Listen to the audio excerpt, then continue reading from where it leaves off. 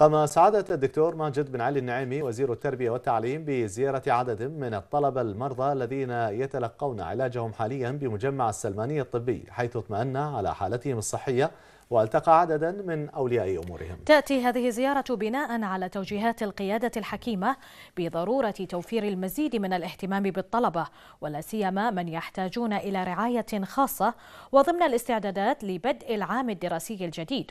وأكد الوزير أن الوزارة ستواصل تقديم الدعم اللازم لهؤلاء الطلبة على جميع المستويات وذلك عبر تقديم البرامج والتسهيلات التي تضمن حصولهم على التعليم المناسب فضلا عن مراعاتهم في تقديم الامتحانات وفي عملية التقويم وغير ذلك من وسائل المساندة والتشجيع.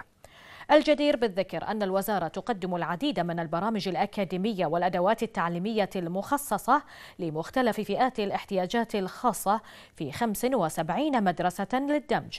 فضلا عن اتخاذها عددا من الإجراءات بخصوص مرضى السكلر والسرطان في جميع المدارس. من بينها تخفيف الأعباء الدراسية واعتماد امتحانات شفوية في حال تعذر تقديم الامتحانات الكتابية والتأكيد على أن تكون فصولهم الدراسية في الطابق الأرضي وعفائهم من الامتحان العملي لمادة التربية الرياضية مراعاة لظروفهم الصحية.